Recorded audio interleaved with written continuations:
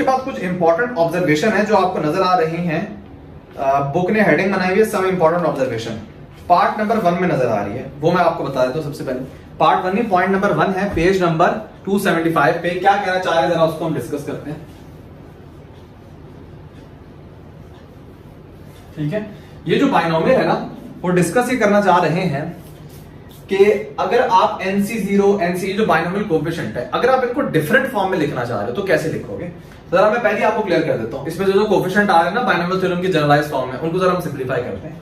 जो NC zero लिखा हुआ है, इसको आप क्या क्या लिख सकते हो? कम्बिनेशन का फॉर्मुला लगाओ। कम्बिनेशन का फॉर्मुला क्या होता है? N factorial divided by R factorial N minus R factorial ये फॉर्मुला होता है। यहाँ पे आर क्या है? ज़ीरो है। तो क्या हो जाएगा formula N factorial zero factorial N minus zero factorial सबसे पहली बात ज़ीरो फैक्टोरियल वन होता है इग्नोर कर दो। एन माइनस ज़ीरो एन ही होता है। तो N factorial upon N factorial answer क्या हो जाएगा? वन तो इसका मतलब इस कोफिशिएंट की जगह वन लिख दोगे। तो इसी तरह बाइनोमियल थ्योरम जो है ना, इसको जनरलाइज फॉर्म में ऐसे लिख सकते हो। ए की पावर है सबसे पहली बात। दूसरा, लिखा हुआ N C one N C simplify कैसे करोगे? N factorial one factorial N minus one factorial one factorial को तो हटा दो, यहाँ से वन होता है। इसको कैसे सिंप्लीफाई करोगे? चैप्टर नंबर सेवन में बताया था मैंने कि आप ऊपर को लिखो इस तरह। N N minus one factorial और नीचे तो अपनी जगह पर आएगा ये कैंसिल हो जाएँगे आंसर क्या आ रहा है? एन आ रहा है। इसका मतलब एन सी वन को आप क्या लिख सकते हो? जस्ट एन लिख सकते हो। तो ये एन हो जाएगा। ए की power N minus one B की पावर एन अच्छा। फिर आप सिंप्लीफाई करो N C NC N C N factorial divided by two factorial N minus two factorial अच्छा एन फैक्टोरियल को लिख सकते हो एन एन माइनस वन और एन माइनस टू फैक्टोरियल नीचे आएगा two factorial N minus two factorial ये cancel तो पीछे बचेगा N N minus one upon two factorial तो तीसरी टर्म में उसमें क्या लिखोगे? N N minus one upon two factorial A की power N minus two B का स्क्वायर कहने का मतलब यह है कि आप कम्बिनेशन को आसानी से यहाँ पे सॉल्व कर सकते हो। मतलब आप कॉम्बिनेशन सी की फॉर्म में ना लिखो। आप ऑलरेडी उसको सिंप्लीफाई कर। दो और आपको पैटर्न नज़र आ रहा है। सिंप्लीफाई किस तरीके से आपने करना है? अगर आप ऑब्ज़र्व करो डिनोमिनेटर में ज़ीरो फैक्टोरियल है, यहाँ पे एन के नीचे वन फैक्टोरियल है, यहाँ पे ज़ीरो फैक्टोरियल था, यहाँ पे टू फैक्टोरियल है, तीसरी टर्म में क्या होगा? थ्री फैक्टोरियल, चौथी में क्या होगा? Four factorial, five factorial. तो तीसरी टर्म आप, चौथी टर्म में यहाँ पे लिखता हूँ। चौथी टर्म में ऊपर क्या होगा? ऊपर होगा N N minus one N minus two क्योंकि आप देखो यहाँ पे एन था, यहाँ पे एन एन माइनस वन था तो चौथी में क्या होगा? N N minus one N minus two नीचे क्या होगा? थ्री फैक्टोरियल और ए में क्या होगा? ए की power N minus three B की पावर क्यू? तो कहने का मतलब NC zero NC one NC two इनको आप सिंप्लीफाई भी कर सकते हो। सवाल है कि सर ज़रूरत हमें क्यों पड़ रही ज़रूरत पड़ेगी। ज़रूरत आपको कब पड़ेगी? आ, कुछ ऐसी ये जो आपने बाइनोमियल फॉर्मूला कंसिडर किया है इसमें एन क्या है? भाई इसमें एन वन के बराबर या वन से ग्रेटर है मतलब पॉजिटिव इंटीजर आप कह लो या नेचुरल नंबर कह लो कोई भी आप वर्ड बोल सकते हो। लेकिन अगर एन नेगेटिव हो जाए मतलब बाइनोमियल में पावर नेगेटिव आ जाए बाइनोमियल में पावर फ्रैक्शनल आ जाए क्या करोगे फिर? क्या इधर कॉम्बिनेशन में नेगेटिव पुट करोगे? सेंस ही नहीं बनेगी। Minus C two, minus three C two, सुना है? माइनस फोर सी फोर, सुना है कभी? भाई, ऊपर नेगेटिव नंबर की सेंस ही नहीं बनती। तो बेहतर है इन कॉम्बिनेशन को सिंप्लीफाई कर लो। हाँ यहाँ पे अगर एन नेगेटिव पुट करोगे, यहाँ पे सेंस बन सकती है। भाई एन माइनस फोर और यहाँ पे माइनस फोर पुट कर दो। यहाँ पे तो सेंस बन रही है। लेकिन यहाँ पे एन जब पुट करोगे तो यहाँ पे कॉम्बिनेशन में सेंस नहीं बनेगी ना। तो दैट्स वाई इसको हम सिंप्लीफाई कर लेते हैं कि यार, इस फॉर्म में लिख दो जब एन आपका नेगेटिव होगा। तो ये बात की चीज़ है, लेकिन अभी इसलिए करवा रहा हूँ कि जो मैंने चीज़ें डिस्कस की हैं तो इसी के साथ ही हर बार डिस्कस करें। ये बाय द वे 8.4 का टॉपिक है। तभी मैं सबको एक साथ करवा रहा हूँ, क्योंकि सब ये चीज़ें इंटरकनेक्टेड है आपस में। तो इसको इस फॉर्म में लिखने से बेहतर आप इस तरह लिख दो, जब ज़रूरत होगी। वैसे आप इसी तरह लिख दो, कोई मसला नहीं है। लेकिन जब ज़रूरत होगी 8.4 में, जब एन नेगेटिव है तो फिर आप इस फॉर्म में लिखना पड़ेगा आपको, ठीक है? तो ये चौथी टर्म पे लिखी अब जनरल टर्म पे आते हैं? जनरल टर्म क्या होगी? जनरल टर्म की असल मुश्किल चीज़ है ना उस पर लगाते हैं। तो जनरल टर्म आपकी क्या है? जनरल टर्म है एनसीआर अब एनसीआर को कैसे लिखोगे? ये हो जाएगा N factorial R factorial N minus R factorial जरा सॉल्व करते हैं। अब आपने एन को एक्सपेंड करते रहना है। N N minus one N minus two सवाल कब तक करते जाओगे? नॉर्मली आप कब तक एक्सपेंड करते हो? फॉर एग्ज़ाम्पल ये एन सी टू था, आपने क्या किया था? ऊपर था एन फैक्टोरियल नीचे था एन माइनस टू फैक्टोरियल तो आपने क्या लिखा था? N N minus one N minus two आपने देखा, हो एन माइनस टू तो नीचे भी है। तो जैसे ऊपर मैच करके आप रुक गए वहाँ पे। इसमें आपने क्या किया था? एन एन माइनस वन आप रुक गए यहाँ पे। क्यों भाई? नीचे भी एन माइनस वन फैक्टोरियल है। तो जैसे ऊपर एन माइनस वन आ गया, आप रुक जाते हो। सेम कॉन्सेप्ट यहाँ पे लगा आप चलते जाओगे चलते जाओगे। क्योंकि आपको आर की वैल्यू नहीं पता ना। अगर आर यहाँ पे टेन है तो आप क्या करोगे? N N minus one N minus two N minus three करते करते एन माइनस टेन तक जाओगे। फिर एन माइनस टेन फैक्टोरियल को नीचे कैंसिल कर दोगे। तो वो तो आर की स्पेसिफिक वैल्यू आपको पता है ना। यहाँ पे तो नहीं पता जनरलाइज बात करनी है। तो आपने चलते जाना चलते जाना चलते जाना ठीक है? कहाँ पे जाके रुकना है? जब एन माइनस आर हो जाए, ठीक है? मतलब जो ऊपर चीज़ है, वही नीचे चीज़ आ जाए। तो यहाँ पे फैक्टोरियल लगा दोगे आप। फॉर एग्ज़ाम्पल आर अगर फाइव है तो आप एन माइनस फाइव फैक्टोरियल पे रुक जाओगे। जैसे एन माइनस फाइव पे रुकोगे फैक्टोरियल लगा दोगे आप, जैसे आप करते जा रहे हो। तो डिनोमिनेटर में क्या होगा? R factorial N minus R factorial ये सिचुएशन बन जाएगी, ठीक है? अब देखो, इसको हमने कैंसिल कर देना है। ठीक है? लेकिन जनरल टर्म में ना आप कैंसिल कर दोगे तो बच जाएगा N N minus N minus two हम इस फॉर्म में लिखते नहीं हम एन माइनस आर फैक्टोरियल से पहले वाली टर्म जो है ना, उसको भी लिख रहे होते हैं कि यार इससे पहले वाली टर्म क्या होगी? तो देखो, ये वाली टर्म जो है, इसमें आर आ रहा है। तो इससे पहले वाली टर्म में क्या होगा? आर माइनस वन तो इससे पहले वाली टर्म लिखते हैं। तो कंप्लीट में लिखता हूँ इस तरीके से। N minus one N minus two इससे जो पहले वाली टर्म होगी। उसमें क्या होगा? आर माइनस वन मतलब जैसे फॉर एग्ज़ाम्पल आर अगर यहाँ पे फाइव कंसिडर करो तो इससे पहले क्या होगा? फोर एक कम करोगे ना?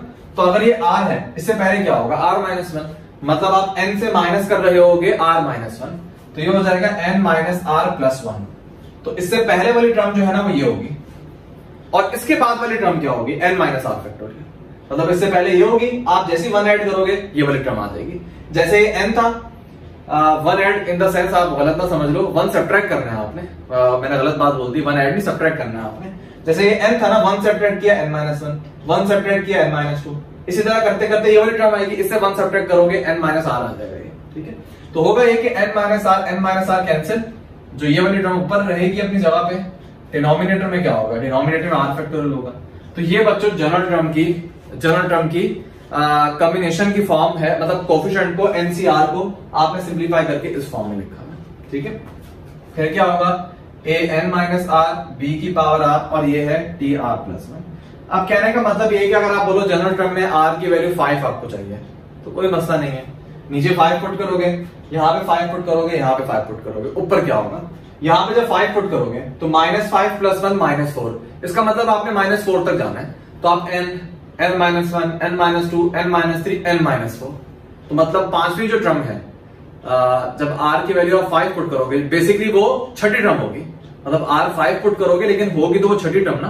तो उसके अंदर कौन कौन सी टर्म आ रही होंगी ऊपर? N N minus one N minus two N minus three N minus four तो जो आर की वैल्यू फाइव पुट करोगे, वो बेसिकली छठी टर्म होगी, और छठी टर्म में न्यूमिनेटर ये पूरा आ रहा होगा डिनोमिनेटर क्या होगा? फाइव फैक्टोरियल और ये हो जाएगा ए की power N minus five B की पावर फाइव तो कहने का मतलब ये कि इस फॉर्म में भी आर की वैल्यू फाइव पुट करते लेकिन जब आप सिंप्लीफाई कर लो तो एन सी फाइव सिंप्लीफाई होगी ये हो जाएगा।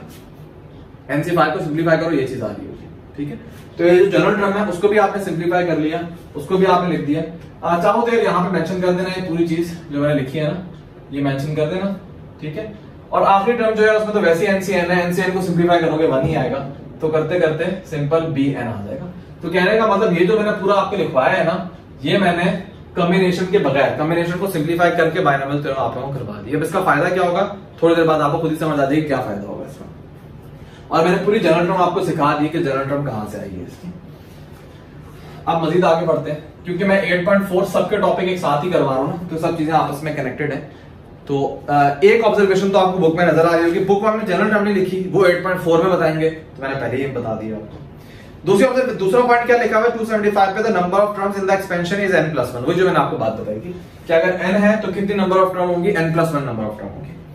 तीसरी बात वही स्टार्टिंग और एंडिंग का बताया हुआ है कि एनसी ज़ीरो और एनसीएन ये आपस में बराबर है वन के बराबर है। तो स्टार्टिंग और एंडिंग जो इक्वी डिस्टेंस पे कोफिशिएंट है सेम है। जैसे वन और वन सेम है फाइव और फाइव सेम है टेन और टेन सेम है ये उन्होंने बताया है। और जो चौथी चीज़ है आ, उससे हम एक और टॉपिक स्टार्ट कर रहे हैं।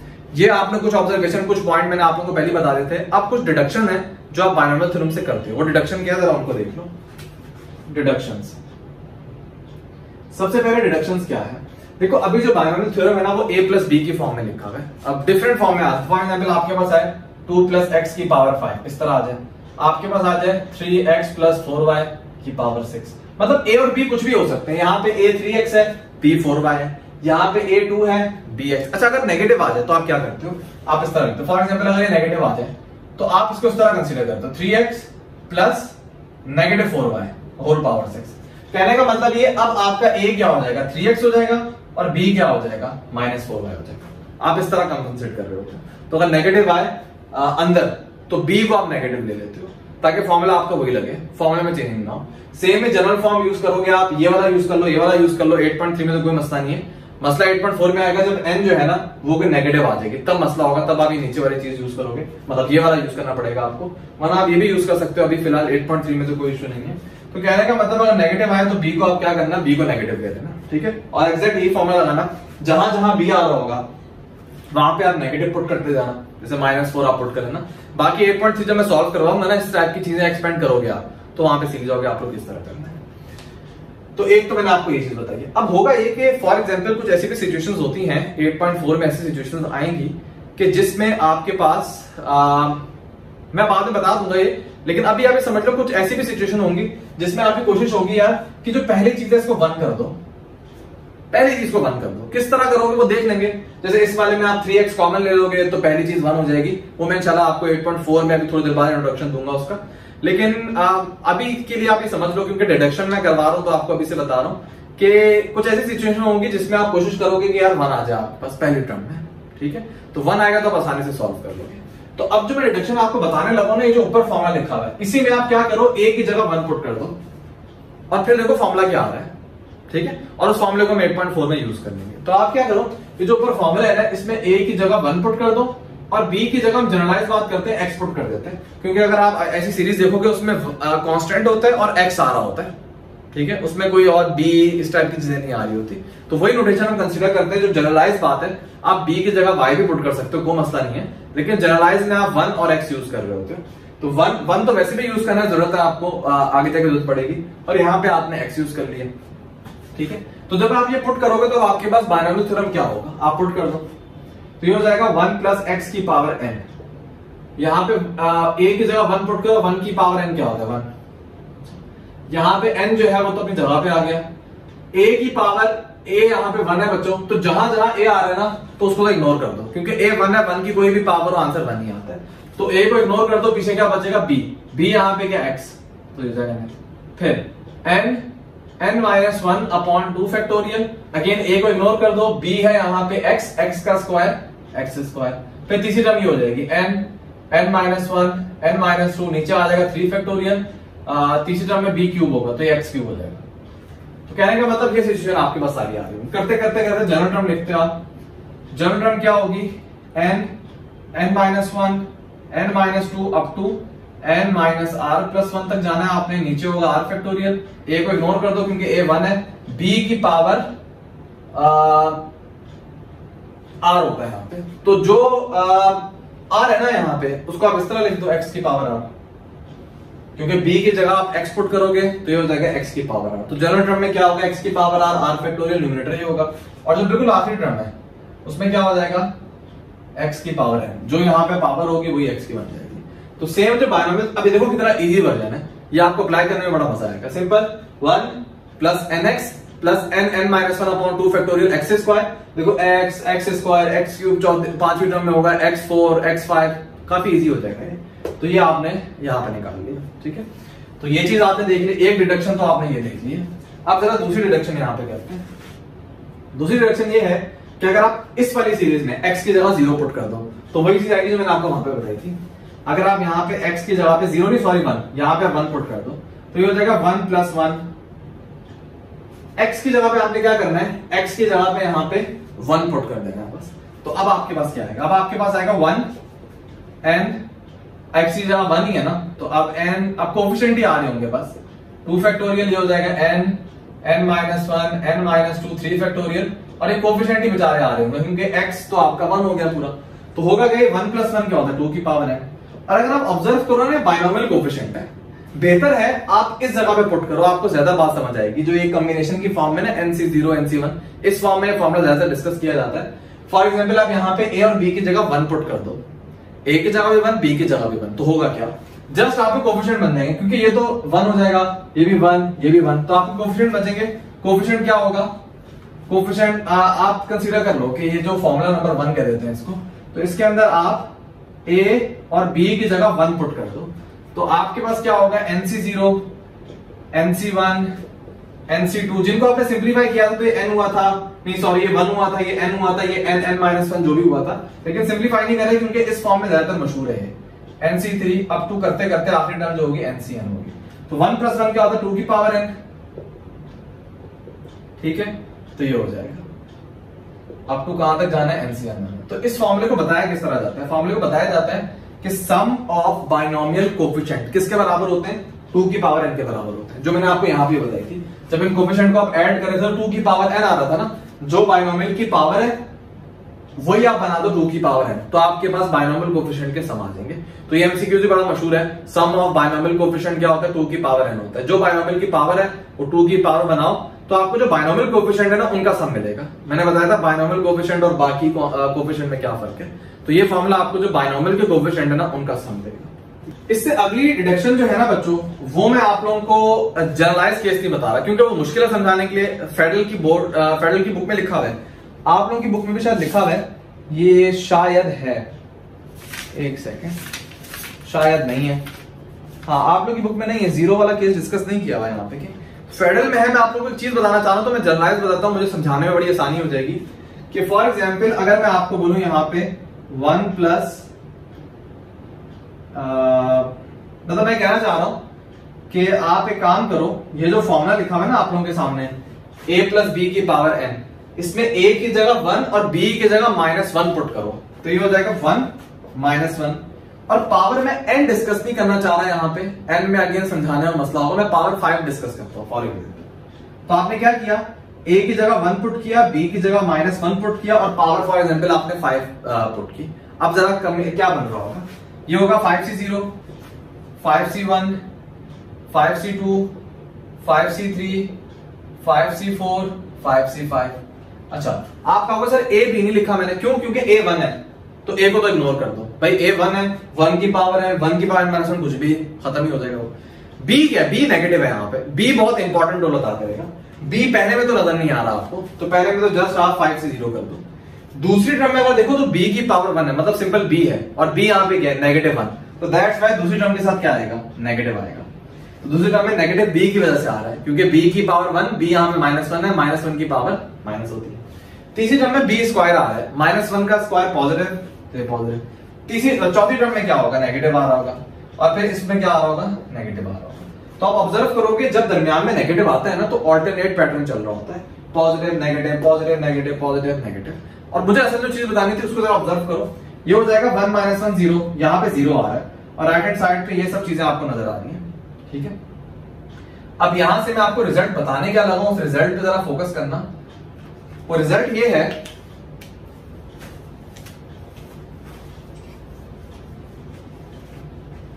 अच्छा मुझे एकदम से एक बात याद आई है, जो मैंने आपको रूल बताया था ना, कि n c r plus n c r minus one बराबर होता है n plus one c r के। उसको पास्कर रूल कहते हो। ये पास्कल ट्राइंगल था ना, उसका पास्कर रूल कहते हो। बुक में नाम भी लिखा है। इसको सिंप्लीफाई करो। नेगेटिव जो है ना, उनको दूसरी तरफ़ ले जाते हैं। तो ये वाला नेगेटिव उधर चला जाएगा। ये हो जाएगा फाइव सी वन ये नेगेटिव है, उसको तो ले जाओ। फाइव सी थ्री अच्छा। ये नेगेटिव है माइनस फाइव सी फाइव ये हो जाएगा फाइव सी फाइव और आपका left hand right hand side पे क्या बच जाएगा? Five c zero five c two five c four तो five c zero five c two five c four जो मुझे बताना है वो अब ये है। कहने का मतलब ये है कि बाइनोमियल में एक होते हैं इवन कोफिशिएंट्स इवन कोफिशेंट कौन से होते हैं? जो इवन पोजिशन पे होते हैं। फॉर एग्ज़ाम्पल दूसरी पोजिशन पे, चौथी पोजिशन पे, छठी पोजिशन पे आठवीं पोजीशन पे। इनको आप बोलोगे इवन कोफिशिएंट एक होते हैं ऑड कोफिशिएंट पहली पोजीशन पे, तीसरी पोजीशन पे, पांचवी पोजीशन पे। एक इवन कोफिशिएंट और ऑड कोफिशिएंट समझाने का तरीका ये होता है। और एक जो इवन ऑड कोफिशिएंट बोलते हैं ना, वो इसकी वजह से बोलते हैं, जो नीचे नंबर लिखा हुआ है। नीचे नंबर यहाँ पे ऑड लिखा हुआ है। तो मैं ये दूसरी वाली चीज़ आप लोगों को बता रहा हूँ। मतलब odd coefficient in term of indexes ये जो, इसको हम इंडेक्स नहीं बोलो। ये जो लिखा हुआ है ना आर की वैल्यू मैं उसके रिस्पेक्ट से आपको बोल रहा ऑड क्योंकि दो चीज़ें आपको नज़र आती है। कोई पोजीशन के हिसाब से इवन ऑड कहता है कि यार ये दूसरी पोजीशन का कोफिशिएंट है तो ये इवन है। ये चौथी का है, ये छठी का है तो इसको इवन कोफिशिएंट बोलते हैं। और इनको ऑड बोल देते हैं कि यार ये पहली पोजीशन क्या है, ये तीसरी पोजीशन क्या है, ये पांचवी पोजीशन क्या है। और कोई जो है ना, इन नंबर्स की बिना पे इवन ऑड कहता है कि यार ये ऑड है तो इनको आप बोलते हो ऑड कोफिशिएंट तो मैं इस रिस्पेक्ट से ऑड यहाँ पे बोल रहा हूँ तो ये ध्यान में रखना। तो अगर ऑब्ज़र्व करो ऑड कोफिशिएंट जो है यहाँ पे और जो इवन कोफिशिएंट है, उनका सम आपस में बराबर है। आपने इस पूरी बाइनोमियल में ये ऑब्ज़र्व किया जो इवन कोफिशिएंट्स है सॉरी जो ऑड कोफिशिएंट्स है और जो इवन कोफिशिएंट्स है, उनका सम आपस में इक्वल है। और ये हर बाइनोमियल के अंदर यही होगा। कोई भी बाइनोमियल आपके पास लिखी हुई है ना, जैसे कोई जनरलाइज आप, ये तो मैंने प्रूव करना है ना आपको जनरलाइज बात की, आप कोई भी बाइनोमियल निकालो। फॉर एग्ज़ाम्पल फोर डिस्कस करते हैं। Four c zero four c one four c two four c three four c four आप क्या करना? आप इसका इसका और इसका सम निकालना।